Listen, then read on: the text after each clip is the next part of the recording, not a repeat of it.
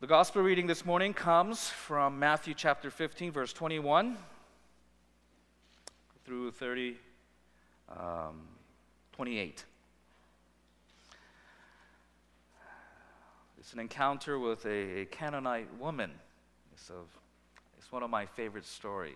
Um, the Canaanite woman, a Gentile. So Jesus is already engaged in his ministry. He fed the 5,000. He walked on water. He had his solitude of prayer, as we witnessed last week. And as he's engaged in um, uh, dialogue with people who he's teaching now, uh, he's on the move. He is on the move. He's at the, the sort of the in the middle of his uh, journey in his ministry. And as he is engaged with people, and as he converses with people, he's also growing and learning and he encounters this woman. And so, a remarkable story that I hope that the grace and love of God may be shared through this story in your life and in our world today. And all God's people said, Amen. Here it goes. And Jesus left that place and went away to the district of Tyre and Sidon.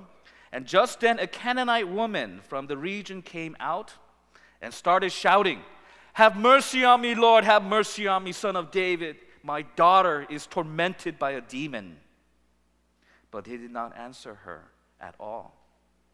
And his disciples came and urged him, saying, oh, Send that woman away, for she keeps shouting after us.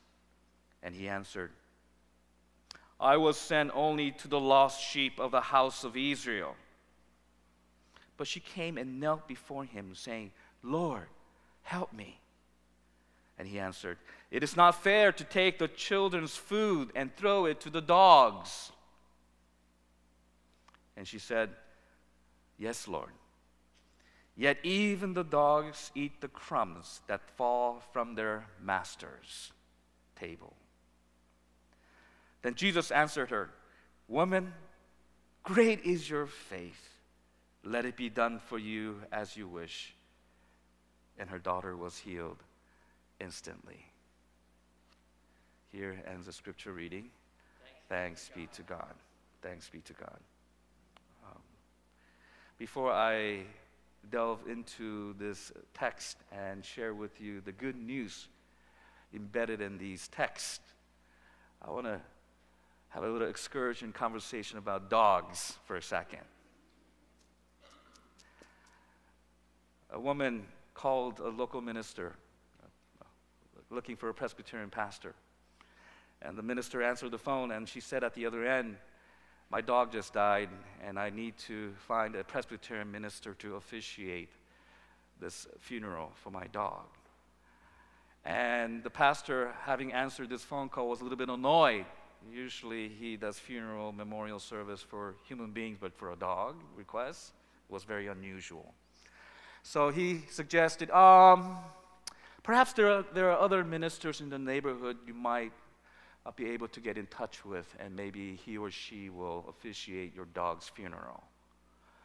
And she said, Okay, um, I will call and see if other um, pastors in the neighborhood might, who might be able to officiate a funeral for my dog. But I have to ask you an advice before I do so. Uh, do you think it's inappropriate um, to give a $1,000 honorarium to the pastor or to the church?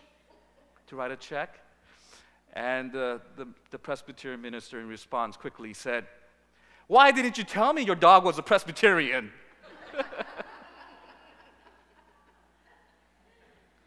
now, that's on the more lighter side of the dog story.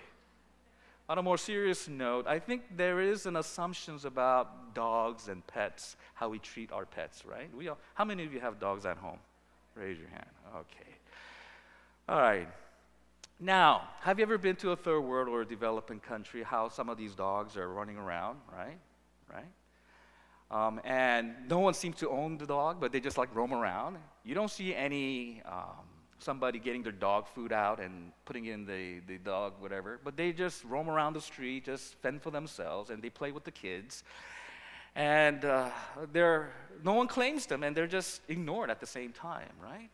And so the dogs were not treated like the way we understand dogs as our own personal pet at home. The dogs in the ancient Near East, Didn't have dog food you buy at a supermarket. Didn't have that. Okay? The dogs that I know as a child when I was growing up in Korea back in the 70s when it was, you know, people were living on a dollar a day at the time. Now it's different, of course. They do have pets and they do take care of. There's a, there is a, a, a um, you know, pet hospitals and dog, uh, hotels, right, while you're away on vacation.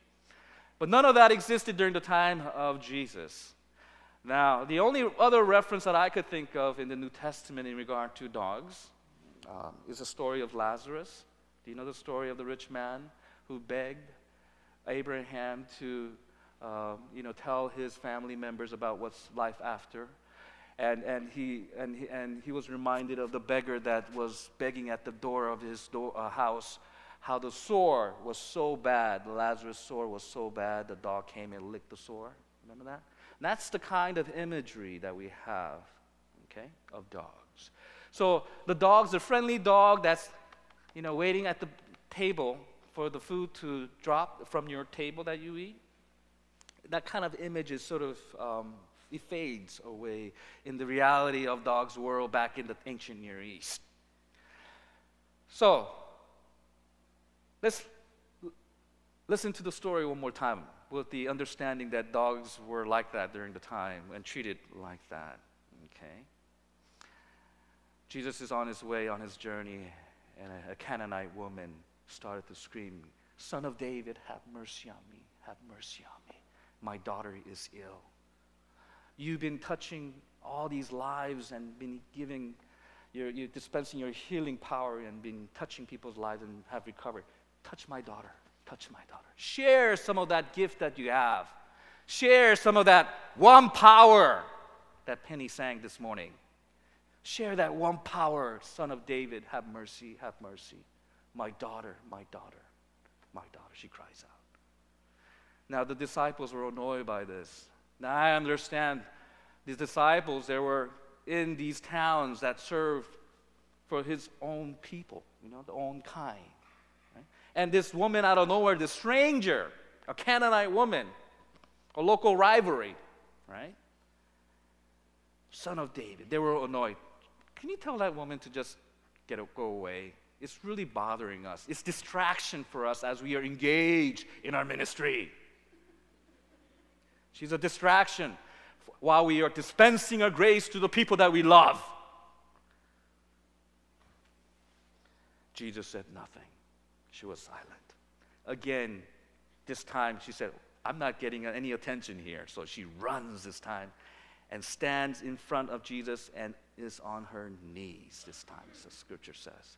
She falls on her knees, stops him on his track, and says, Son of David, have mercy on me. Hear my cry. Can you sense the desperation of this woman? Can you feel it? What if it was your own daughter? And you knew that this was an opportunity that you cannot afford to lose. There's no hospitals. This is it. He, she heard rumors and she saw what Jesus could do. You saw what he could do. And this was an opportunity of a lifetime. And your daughter is sick. What do you do? She came and kneeled before him. Have mercy on me. And instead, Jesus, being compassionate as we have seen in the previous chapter, with thousands of people who were there gathered in the Galilee, having compassion over them and feeding them with two fish and five loaves of bread, with the miraculous event of feeding all and having 12 baskets left over. What happened to the 12 baskets? Bring some of those goods here and give it to her. Right? Instead, he says, what did he say? I came that I may serve my people only. Right? I came for my lost sheep. I don't know about you. I don't have time for this. My time is limited. I'm on schedule. Right? Do you resonate with that? I'm on schedule. You're a distraction. Now, some of you here say, hey, hey, wait a minute, Pastor Day, wait a second. Are you saying that Jesus was being offensive? that can't be because, you know, Jesus is perfect. Jesus is God incarnate. Now, if you hold the belief that when Jesus was conceived and was born in the manger, just a day old, with all the divine perfection, omnipotent, omniscient, and what have you, with all the, the absolute qualities of God in Christ, then there's no room for growth, right, as a human being. Right? If you hold that to be true, which a lot of traditional interpretation have said, well, then if that's the case, you see, Jesus knew all along what's going on here. So Jesus was actually testing this woman's faith. That's an awful way of testing somebody's faith. On the other hand, if you hold the view that Jesus, fully human, also understood and was evolving and growing and beginning to understand that the very mission that he had was even bigger than he thought he had possessed. And that he was also a human being who felt the pains of the other and also was resistant to pain like we are and afraid of pain and suffering. So he kneeled before in, uh, Gethsemane, in Garden of Gethsemane, and said, Lord, if possible, take this pain, this suffering away from me, but not my will. And he struggled so much, the sweat that came down his brow was like blood, it says, right? If you take Jesus to be like us, resonate with our suffering and our joy and the love that we experience as someone who is evolving and growing, it makes total sense to me for him to say, as we have often slipped and said, I came only for my people. Who are you again? I came here to feed my people. I don't have enough for you all. The same logic that we apply in the way in which we discriminate people, right? We got limited resource. We don't have enough for you. Sorry. Sorry. But on top of that, what else did he say? What does the scripture say? Now, this is real offensive. Listen. What does he say? But Lord, before she, she says that, help me. I beg you. She continues to persevere and beg, and he turns to her and says, It is not right. It is not right to take the children's food and throw it, not even giving, the word give is not even there, just as a gift of generosity, and throw it to the what? Dogs. What is he implying in that sentence? You're, a, you're not my children. You are. Now, how many of you, if you were her, you're on your knees, and Jesus says to you, I came for my children only, for the lost sheep, and it is not right for me to throw the food to the dogs. Okay, I will make an immediate shift from the desperation and the need for my daughter's healing to rising with anger. I'll be so offended. I will be, oh, you, did, you, did I just hear it correctly? You call me a dog? wow. Actually, in the Korean transliteration, I won't say it here because uh, we get 600 hits in videotapes, right? Internet but it's a pretty bad word to say that. Okay, the worst word you could say it. But instead, you have to wonder what is it about this woman that, in spite of this kind of obstacles, huh? in spite of this uh, impediments or, or wall, clearly the healer that he, she sought after for healing denied her. But what was it about her and what was it that she saw in him or saw that he was he possessed that she was able to be persistent? And without losing a beat she responds by saying i love this. What does she say? Even the dogs eat from the bread that the crumbs, the crumbs that falls from the table, master's table, even the dogs. Mm-mm, you're not going to be denying me this. No. You're not denying me this. You're not denying me this. Even the cr- dogs will eat the crumbs that fall from the master's table. What you possess, the vision of ministry that you possess, is larger than you. It's larger than you. And I want to help you embody that. Jesus had an awakening moment, an epiphany. Now, for most of us, now this is what I love about Jesus, in spite of his imperfections as a human being in that nature. Now, most of us, if we were corrected, right, and we had to make a, a shift in our worldview of things, whether it's our faith, whether it's about how we see things in our world, what is our immediate response usually? No. No, I'm right. Right? Don't tell me otherwise. I know what I said is to be true. Are you telling me otherwise that my truth is not the right one, but that I should attain a higher truth of what you believe to be true? No. Immediately we will deny it, right? We're not receptive to growth unless pain is involved, right? Unless we find ourselves at the bottom somewhere where we tried hard and we've gone to the edge of our belief and edge of our understanding. And when we have come to that wall and you say, you know what? Maybe she was right. right? And you have second thoughts and reflection. But for Jesus, there's an immediate connection. She understood. He understood. What did he say? Oh, you're right. Aha. Great is your faith. This is the only time you will find in the scripture. Often he will say to his disciples, You of little faith. But here, of all the people that he'd engaged up to this point in his, his ministry, his narrow tunnel vision that catered only to his lost sheep has exploded to encompass the universal need of all human beings.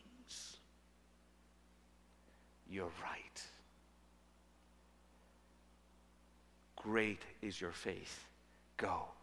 Your daughter is healed.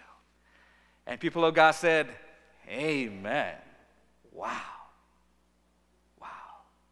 The realization that it's not a battle between the lost sheep Israelite or the Canaanite or Palestinian who are actually the descendants of that.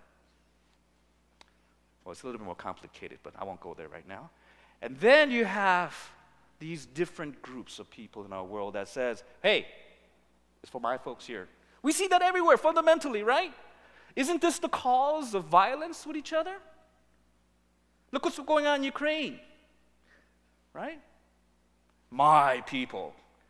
Oh, my people happen to be there, so it must be ours. right? My people, secure my people at the expense of others. Right? The fundamentalist group, what is that? Extremist state, right? They're trying to, like, one third of the Iraq is now taken over by this group because they're saying, my way or the highway. The whole extremist Islamic vision is to have the whole world under, under its religious fundamentalism, right? So, there are all these kinds of stuff going. What's going on in Ferguson, too? Any isms, whether it's race, sex, ism, nationalism, nationalism, whatever ism, it's all about fundamentally a power struggle, right? And that says, my power over against yours, so that you may imitate my assumptions and my absolute worldview. Because I'm privileged and I'm going to maintain that privilege. Going back to Ferguson for a second, I was reading a newspaper. Uh, I think it was Pastor Renita, I believe. She was sh- shot with a rubber, rubber, bullet. Did you hear about that? She was marching, uh, protesting, negotiating between the police officers who were uh, heavily militarized. right? I was like, where, where is this going? This is back in the 1960s imagery. And she was shot with a, a, a, rubber bullet because she was saying to the people, you know, let's do a peaceful march, and the police was there, and she happened to be right in, the, in between the, you know, the marchers and, and, um, and the, pro, uh, the police officers who were guarding the streets. And all of a sudden, a fire went off, and if it was a real bullet, it would have killed her, but it, it hit her stomach, and there's this really terrible looking wound. And I think she's taking that scar as a pride right now. Okay? And she said something very interesting this morning when I was reading, and she said, You know, our battle is not against the police department here. Our battle is against the system and cultures and how we see each other, how that creates a situation where something like Michael Brown could be shot and killed. That's an excessive force. Now, on the one hand, yes, the criminal investigation needs to go on and the truth must be told. But a larger question beneath all this you know, rioting going on, and people are going, oh my God, people are so angry. What's going on? So emotionally charged. As if this is so surprising. When for people who have been oppressed and people have been living under a system of racism, it's a different story. So, we need to hear, we need to listen. The desperation, it's a universal desperation, this Canaanite woman, the cry of mothers. It's a universal desperation that we all long as a human being. And that cut right through all the BSs around it. And Jesus was able to actually hear this woman. The crumbs, the crumbs, the crumbs. Have you ever felt that desperation? Have you ever felt that need to be touched and to be healed? The good news. Now, I could go on and preach for another hour. I heard the church that is growing, people, pastor tend to preach a little longer. no amen here on that one, right? Okay, all right. Now let me get to the gospel, the good news. What is then the good news in this story? Now, some of you might say, hey, Dave's going politicizing this whole thing. No, that's not about politicizing. It's about the gospel of truth, the good news of God's universal love in response to a universal need. Our battle as a faith community is not just simply to be feel good about ourselves here in worship space feel empowered, all empowerment to you, like one power. But that one power, as a matter of fact, that you possess this day as you journey on your faith. You may think, like Jesus, that you are here for the lost sheep, for our congregation, for our Presbyterian church. But what you possess, the vision that's been given to you, the faith that have been entrusted to you and me. Listen to the Canaanite woman. It's larger than you think. It's bigger than what we assume we possess as our faith. Do you not, do you, I not want to hear our Jesus who says to us one day when we challenge and recognize and respond to the universal need for peace and reconciliation in our world, in our home, and beyond, and say, Great is your faith. Hmm? So, cry of that desperation of that woman cuts through the narrow horizon and vision and enables Jesus to see beyond. It is that cry that we need to hear today. Knowing that that one power that was sang by Penny, the love of God is universal and is beyond our own four corners of the wall. Our battles it's not just simply my personal struggle to overcome whatever that you are maybe facing in life, but you are to live your life beyond your own experience, your own community, and your own family. But that's the challenge, right? That's the reason why we are here as a faith community. That cry will be here. Whether it is in Baghdad, whether it is a, a woman crying in Yadizi in the mountains struggling right now whole family dying, running away from the Islamic extremists, whether it is that Palestinian woman crying out for the loss of her daughter, okay, or anywhere else in the world, we begin to recognize that what we have been entrusted, the faith and the vision that we have, is larger than what we possess. May each and every one of us be challenged today and see that the crumbs from the Master's table is everywhere. And while the world and power that be are feasting on their tables, there are crumbs out there. And there are people who are struggling for those crumbs. May those cries be heard in our hearts. And you don't have to go halfway around the world to know that. It's right at our doorstep. May the blessings of God, peace of Christ be with each and every one of us this day. Amen. Let us pray. Gracious God, we thank you for your love. We trust that there's no one beyond the reach of your love. We profess it and we confess it, we sing it, we praise it, yet we look at our own lives, we're so consumed and, and by our own self that we are unable to see beyond ourselves. We feel as though if you focus just on myself, I will find happiness. If I just have so much more, if I just have enough of this or that, then I could be happy. Without recognizing the truth that if we serve, when we engage in the world of universal need, that we find ourselves. When we lose ourselves in the need of others, that we find ourselves. You have called us, you have enabled us, you have given us more than enough to make a difference in our world, in our community, and in our home. So help us, O oh God, to be empowered by listening to the voices of needs in our home and respond to that need with our call. We thank you for the summer. We thank you for the fellowship in our faith community. We thank you for the Canaanite woman. We thank you for those eruptions in our community, in our society, that cries out for justice. In Jesus' name we pray.